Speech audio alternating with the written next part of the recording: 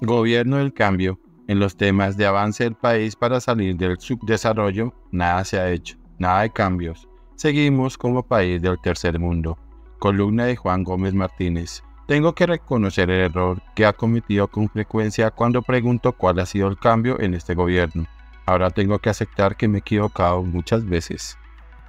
Si ha habido cambios con frecuencia, cambios de ministros, cambios de funcionarios cercanos, cambios de lugar de las bolsas con dinero, cambios en el protocolo porque ya no existe el cumplimiento de los compromisos, en fin, este es el gobierno del cambio. En cuanto al trato con los grupos subversivos, sí que existe un cambio total.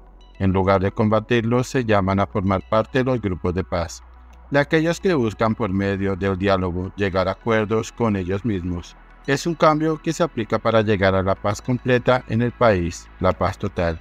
En los temas de avance del país para salir del subdesarrollo, nada se ha hecho, nada de cambios. Seguimos como país del tercer mundo, nada de nuevas tecnologías, Nada de mejoras en las comunicaciones terrestres, ferrocarriles, puentes, carreteras, en infraestructura en general. Seguimos en las mismas. Ni siquiera como el gobierno de Santos, puentes que se caen cuando van en la mitad de su construcción.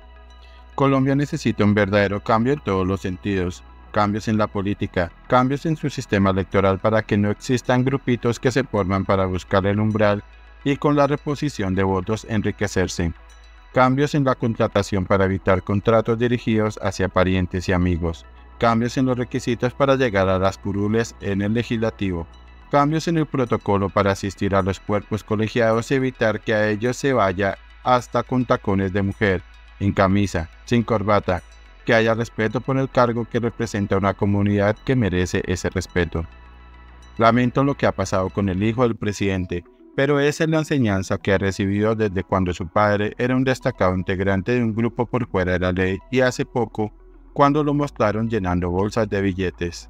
Apartándome del tema, quiero agradecer las manifestaciones de solidaridad por la muerte de nuestro hijo Luis Guillermo, a quien llamo mi Dios, para premiarlo por la vida que llevó el creyente, de respeto por los demás, de honestidad, de sacrificio, de amor por los suyos y por toda la comunidad también despido con dolor del amigo a Gabriel Harry, gran empresario, ejemplo de tenacidad en el trabajo para crear empresa, para el desarrollo de las regiones como el Bajo Cauca y el Urabá antioqueño, una persona que desde su juventud trabajó con tesón en las distintas regiones de Antioquia y de Colombia, para hacer una patria mejor para todos.